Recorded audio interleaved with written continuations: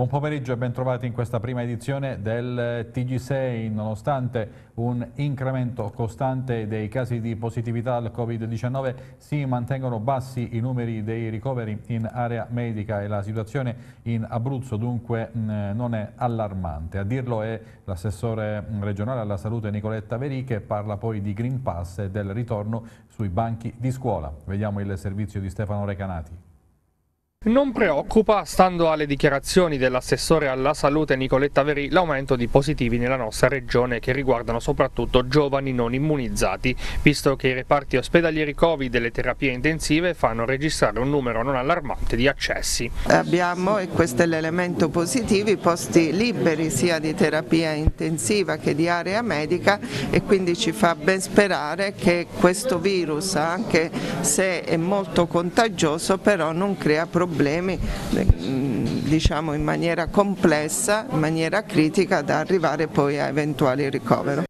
Per quanto riguarda la campagna vaccinale è presumibile nel periodo di Ferragosto un calo delle somministrazioni che sempre a detta dell'assessore verranno però recuperate nei giorni antecedenti e successivi. Stiamo seguendo quella che è la media nazionale che ci è stato imposto dal, eh, dalla struttura commissariale, lavoreremo durante il mese di agosto, ci sarà forse così come in tutta Italia una sospensione giusto per il 14 e 15, però compenseremo quei dati nei giorni antecedenti e nei giorni successivi. Poi il Green Pass, la Veri si dice favorevole all'utilizzo del certificato verde anche in vista della ripartenza dell'attività scolastica in presenza. Il Green Pass è uno strumento valido per mettere in sicurezza, ecco oggi ci troviamo in ospedale e giustamente chi entra in un policlinico deve in un ospedale deve avere la possibilità di presentare il Green Pass ed è quello che abbiamo strutturato. Eh, nelle strutture specialmente quelle molto chiuse dove c'è un grande addensamento di popolazione, è senz'altro uno strumento valido. Noi dobbiamo seguire gli indirizzi ministeriali, ci siamo sempre adeguati a questi indirizzi, oggi abbiamo ancora delle ipotesi, delle certezze non, non le abbiamo, quindi appena sarà definito quello che è l'indirizzo, quelle che saranno le linee guida noi le attueremo. Ok su, per tornare in presenza a settembre? Senz'altro la presenza è un elemento importante, un elemento in cui la Regione Abruzzo ha dimostrato questa volontà, è stata tra le prime a riaprire, a richiedere la presenza anche quando c'era in atto una pandemia, quindi io credo nella presenza, però in sicurezza. Riaprono le eh, biblioteche abruzzesi grazie ai fondi trovati per le sanificazioni dopo un emendamento proposto dal Partito Democratico. Il servizio di Paolo Renzetti. Blasole, oggi in conferenza stampa avete rivendicato il fatto che a breve riapriranno le biblioteche in Abruzzo grazie all'emendamento presentato dal Partito Democratico che ha permesso di raccogliere quei fondi necessari per le sanificazioni delle biblioteche. Allora, intanto diciamo che le 12 biblioteche abruzzesi, quindi sparse su tutto il territorio, erano chiuse. Erano chiuse perché con un'ordinanza del Presidente Marsiglio si chiedeva la sanificazione, giustamente, ogni 4 mesi di queste biblioteche. L'ordinanza c'è stata, a giugno del 2021 non c'erano i fondi per fare la sanificazione e poi abbiamo scoperto che i fondi mancavano per la sanificazione delle biblioteche ma anche di tutte quante le altre sedi della Regione Abruzzo. Questo emendamento consentirà di riaprire le biblioteche per agosto in tempo per il nuovo anno scolastico in modo che possano diventare, eh, tornare ad essere anche sale studio per gli studenti. Ma c'è un problema di fondo, la mancanza di personale da settembre del 2020 con l'interpellanza discussa in Consiglio regionale noi chiedevamo di mettere più personale e soprattutto personale qualificato all'interno delle biblioteche. Vi faccio un esempio, nel 2006 la biblioteca di Giampaolo contava circa 11 persone, adesso ne sono due queste biblioteche non possono continuare a funzionare così, serve personale qualificato, serve un'immediata modifica del piano del fabbisogno. Noi diciamo, ci appelliamo a tutte le forze che credono nella funzione sociale, formativa, istruttiva, culturale delle biblioteche di starci al nostro fianco perché comincerà una battaglia seria, forte in Consiglio regionale perché le biblioteche riaprano con un personale adeguato. È stato il direttore della eh, ASL di Lanciano Vasto Chieti, Thomas Schell, a presentare questa mattina il piano di riordino dell'ospedale Santissima Annunziata di Chieti, investimento totale di 49 milioni di euro e porterà ad avere un nuovo pronto soccorso, mentre alcune opere, come reparti Covid e la ristrutturazione del blocco operatorio, sono già state realizzate. Il servizio non un ripiego al project financing, ma di fatto un modo conscienzioso di investire per il bene dei contribuenti. Lo ha definito così il direttore generale della ASL di Lanciano Vasto Chieti Thomas Schell, il riordino del Policlinico Santissima Annunziata di Chieti, costo totale dell'investimento 49 milioni. Alcuni lavori sono stati già effettuati, come ad esempio l'adeguamento dei reparti Covid e di rianimazione, altri, come la realizzazione del nuovo pronto soccorso con percorsi dedicati per pazienti Covid, saranno realizzati realizzati entro luglio del prossimo anno. Si tratta di una ripresa dei lavori già iniziato dopo che è stato abolito il project finance del Policlinico di Chieti, eh, in parte abbiamo già fatto lavori per più di 15 milioni in questi due anni sia di Covid che di non Covid e chiaramente noi anche grazie alla disponibilità della Regione di mettere a disposizione eh, università e azienda congiuntamente 49 milioni, prevediamo di fare un corpo aggiuntivo il cosiddetto questo corpo P con una serie di medicine di servizio dentro e un riordino, una ristorazione di tutto il policlinico. A questo progetto di riqualificazione ha partecipato attivamente anche l'Università d'Annunzio che in questi mesi si è costantemente interfacciata con la direzione generale visto che proprio l'Ateneo Teatino mette a disposizione della ASL un numero elevato di figure professionali.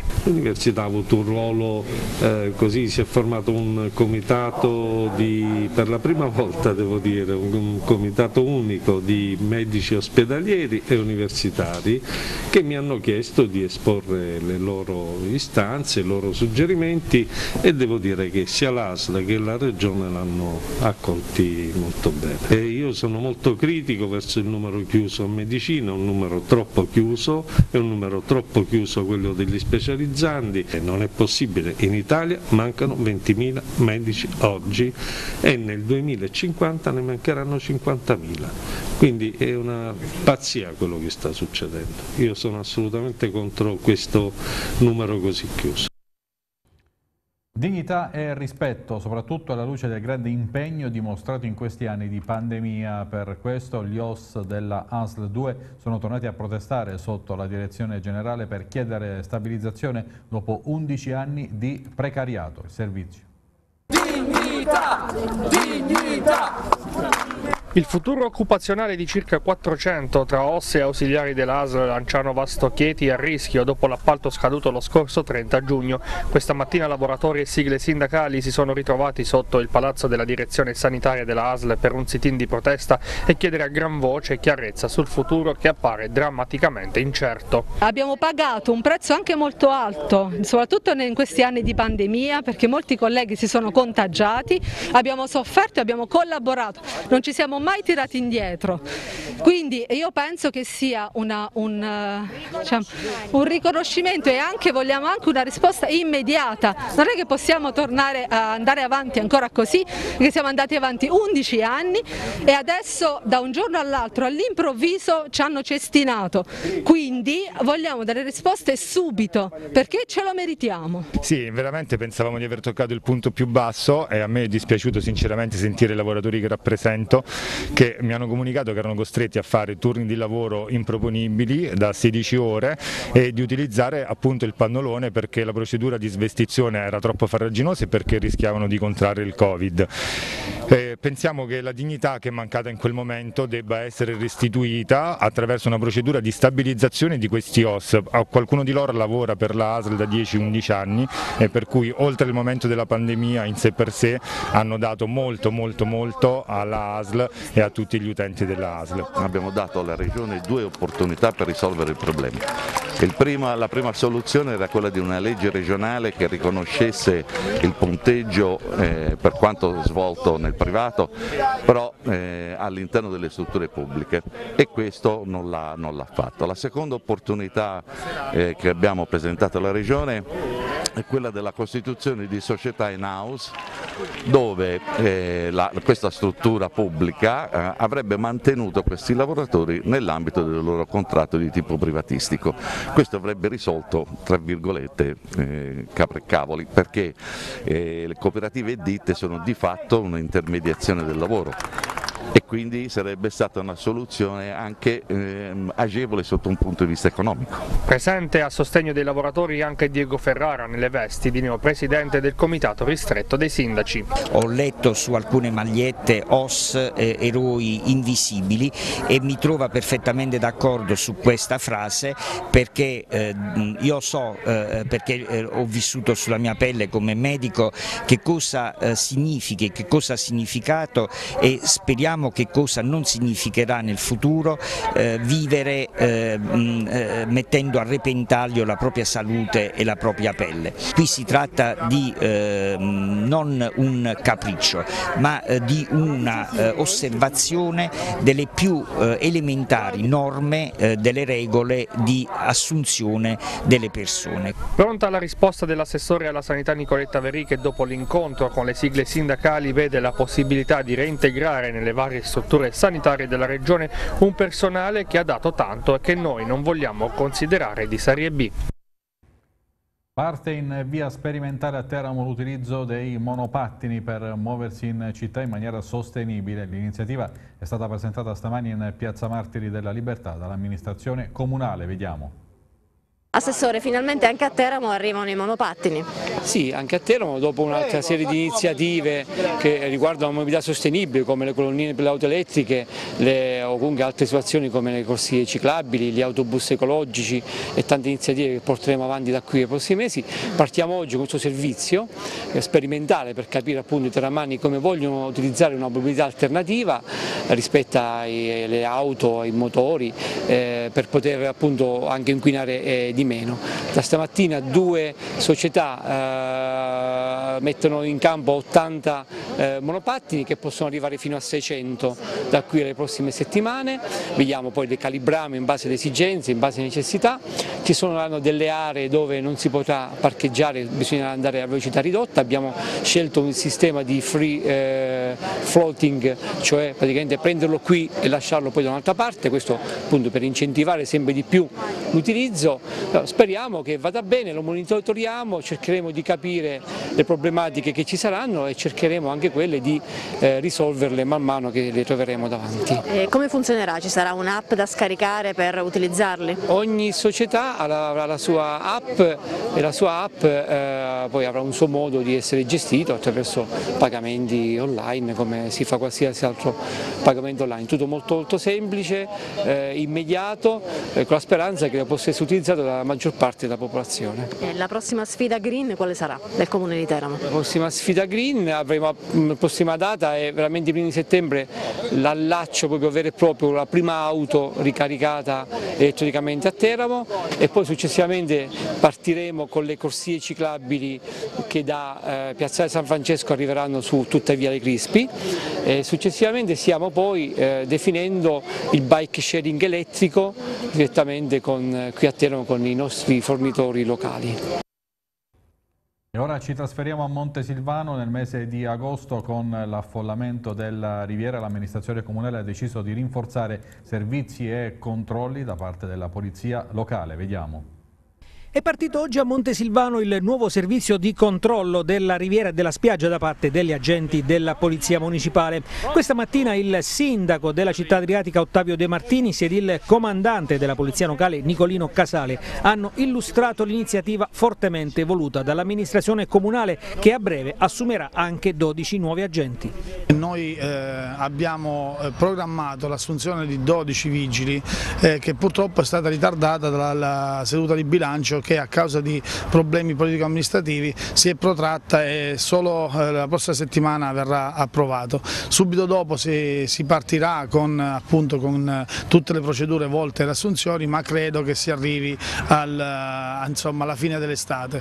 Eh, detto questo però devo fare un ringraziamento all'organico della Polizia Locale che nonostante sotto, appunto, sotto organico ha comunque eh, e sta eh, assicurando tutto quello che serve ai cittadini e ai turisti che peraltro si stanno comportando in maniera responsabile e, e quindi non, hanno, non, non, stanno creando eh, problemi eh, come in, altri, in altre zone. È un servizio fortemente voluto sia dal comando che dall'amministrazione e nonostante la carenza d'organico siamo riusciti ad organizzarlo. Cosa si prefigge questo servizio? Innanzitutto si prefigge di eh, combattere il commercio abusivo sulla battigia, sia di cose non autorizzate che di cose taroccate, ossia eh, marchi e fasulli. Oltre a questi servizi verranno svolti servizi di controllo di eh, assembramenti vari, controllo di eventualmente giochi vietati sulla spiaggia, tutto ciò che può eh, dare sicurezza ai villeggianti, ai bagnanti che stanno sulla nostra spiaggia. Nasce questo servizio perché c'era l'esigenza di controllare la spiaggia e come si poteva controllare un tratto di spiaggia così ampio? Certamente non a piedi, perché a piedi una pattuglia può fare soltanto un passaggio, in questo modo la pattuglia farà 5-6 passaggi sulla spiaggia e quindi la presenza dello Stato, della Polizia sarà molto molto più pregnante. Quale fu il legame tra Leonardo da Vinci e l'Abruzzo? Se ne è parlato nei giorni scorsi in un'apposita giornata di studi a Celano. Vediamo.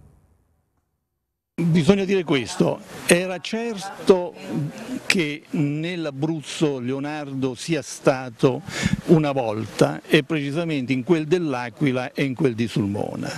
E questo storicamente provato, non era provato invece di un precedente viaggio che nell'intorno del 1473-72 dello stesso Leonardo nella Marsica e precisamente ospite nel castello di Celano della famiglia Todeschini Piccolomini. Dottoressa, oggi viene centrato, possiamo quasi dire, un altro obiettivo a livello culturale per questa terra, anche per la città di Celano, viene accesa una luce sul legame tra Leonardo e la terra marsicana, una giornata di studi interni intensa, una giornata di studi che mira a che cosa?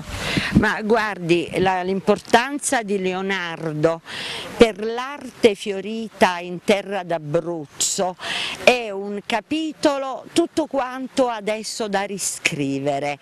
Nell'ambito delle ricerche che ho effettuato in previsione di questo convegno, ma che sono cominciate già moltissimi anni fa, credo di aver individuato un filone di delle conseguenze che ha avuto la diffusione del trattato della pittura attraverso il codice Lauri che è stato vergato su carta di Celano, quindi è nato qui, praticamente ed è circolato tra Celano, l'Aquila e anche oltre.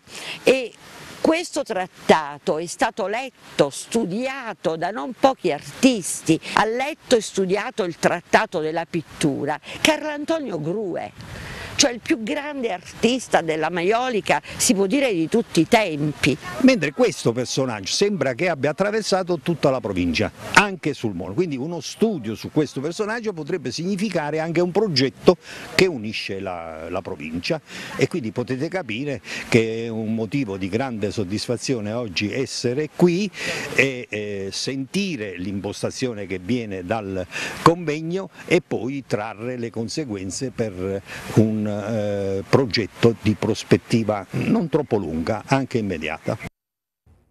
Nel parco fluviale di Teramo c'è il cosiddetto Ponte degli Impiccati. La struttura è stata interessata da una importante opera di recupero. Agna Cantagalli.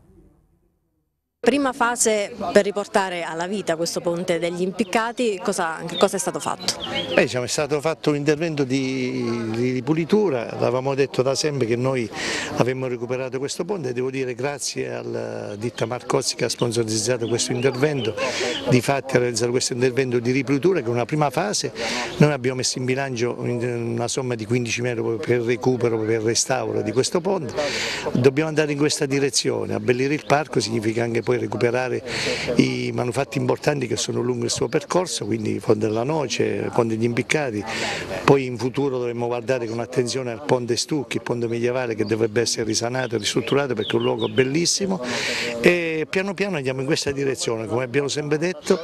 Eh, valutare e valorizzare al massimo il parco fluviale perché è un luogo straordinario di bellezza unica e soprattutto è un patrimonio che poche città hanno e noi dobbiamo valorizzarlo il più possibile ma stiamo andando in questa direzione. Intanto c'è stata una prima sistemazione che lo rende uh, fruibile, accoglibile e una, una discreta situazione di decoro. Il progetto che abbiamo messo in campo di circa 8 milioni e mezzo di euro, eh, di cui una parte già è finanziata per dare un primo segnale importante importante di attenzione a questo luogo, eh, ci, negli anni ci porterà ad avere un parco bellissimo che renderà questa città sotto questo aspetto unica. Piero Chiarini prima stava dicendo senza memoria non siamo nulla, il ponte degli impiccati fa parte della memoria storica di Teramo. È una memoria importantissima anche per la tragicità del si imbiccavano i delinquenti, speriamo che erano colpevoli, ma si imbiccava anche le persone senza processo.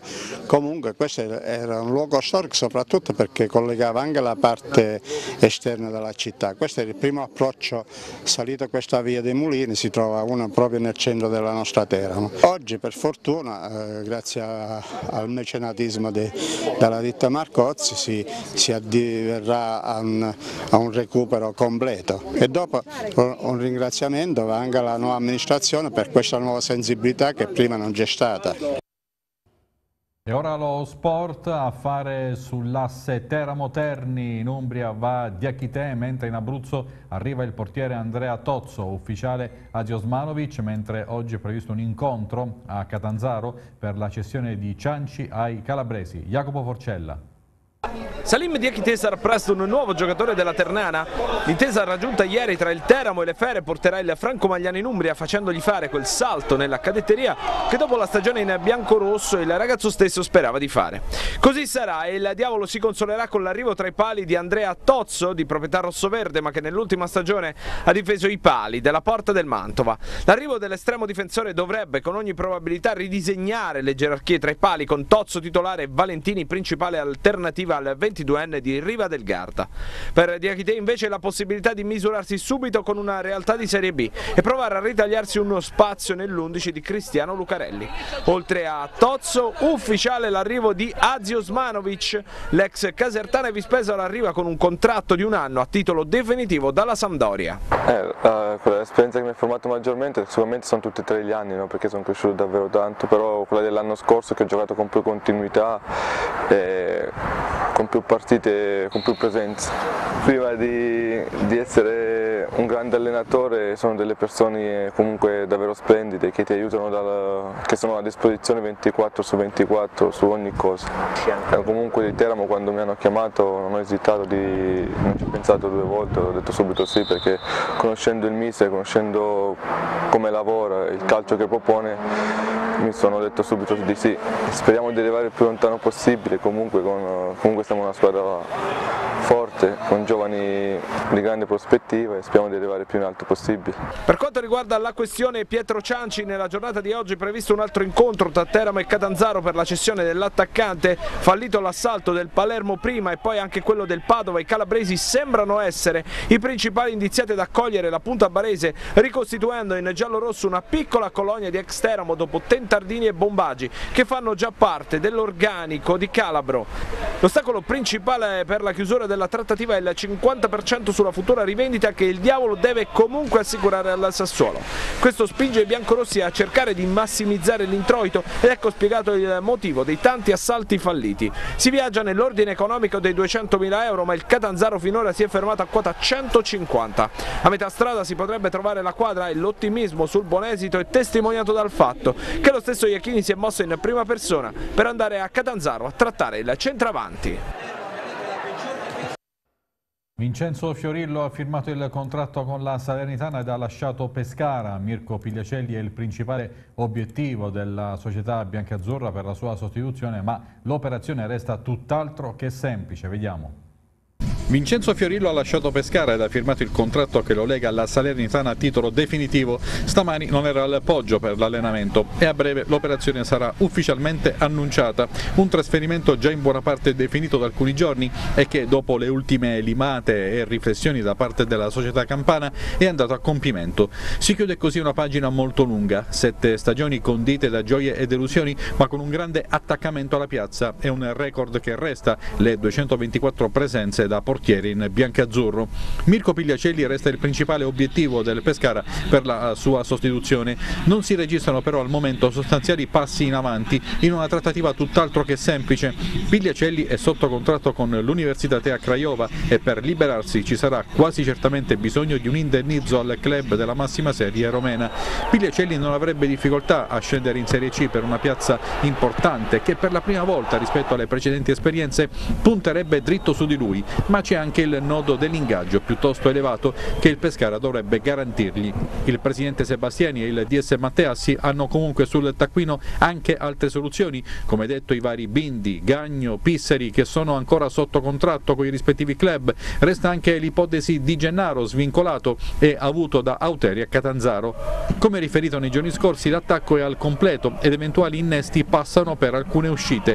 Quella più imminente sembra essere Andrea Di Grazia che è vicino al Foggia dove troverà quello Zdenek Zeman che con il suo 4-3-3 potrebbe esaltarne le caratteristiche.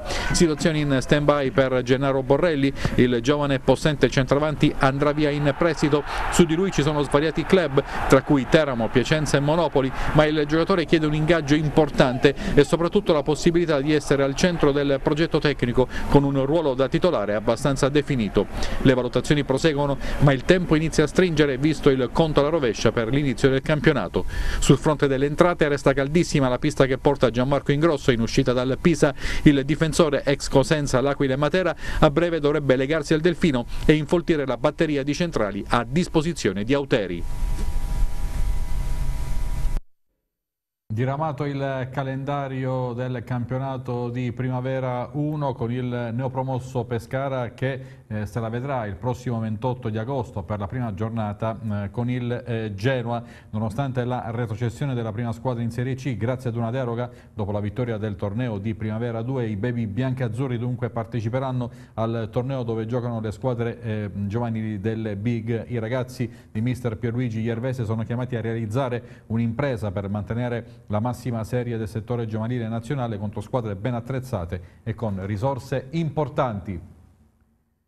Il TG6 termina qui, tutti i servizi che avete visto a breve saranno disponibili on demand sulla nostra piattaforma YouTube oppure sul sito www.tv6.it. Prossimi appuntamenti con la nostra eh, informazione, i TG6 delle 19 e delle ore 23. Grazie per l'attenzione e buon proseguimento con i programmi di TV6.